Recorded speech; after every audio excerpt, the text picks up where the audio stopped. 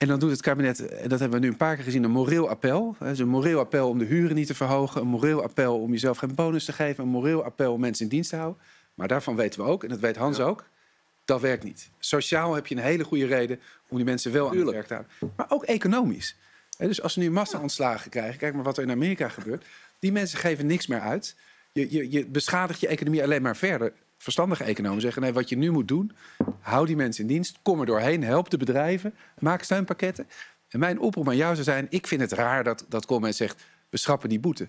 Ga nou Nee. met de vakbond aan tafel, ga naar Coleman en zegt... we weten dat je het goed bedoelde, We zitten nu maar met de dit willen we niet. Wij zijn werkgevers, we willen mensen in dienst hebben. We zitten, we zitten nu met de vakbeweging en we praten daarover. Hij zegt En nou we zelf- willen hetzelfde. Zeg nou zelf, die ongeclausuleerde massa-ontslagen... Ja. dat moet je ook als werkgeversman niet willen.